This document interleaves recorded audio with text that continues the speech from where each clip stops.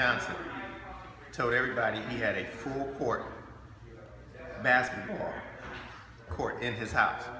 Everybody was like, this is crazy. So Larry, I'm gonna tag you in this, Larry. Your uncle is the one who got me started on this. So come on in, let me guys show you this. I don't know what I would do growing up as a kid and you step from, you, you come down after you eat and all of a sudden you walk right on here and you just start shooting basketball. I mean, just think about this. You know how many three on three games or two on two games we can have? Now, I know my shot is not what it used to because the other thing, no, I take that back. My shot is what it is, but if you see the ceiling, you literally have to adjust. So it takes a couple shots. You have to shoot straight shots. Robert Pack, I'm tagging you too. Eric, I'm gonna you this too. This is somebody's home, and I know you remember these names.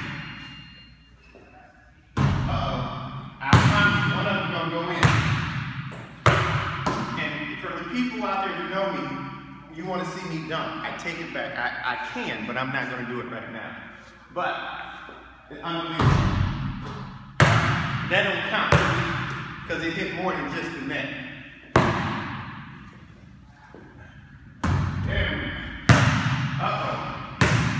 Last one. Give me two more. See how what I can do. Oh, there we go.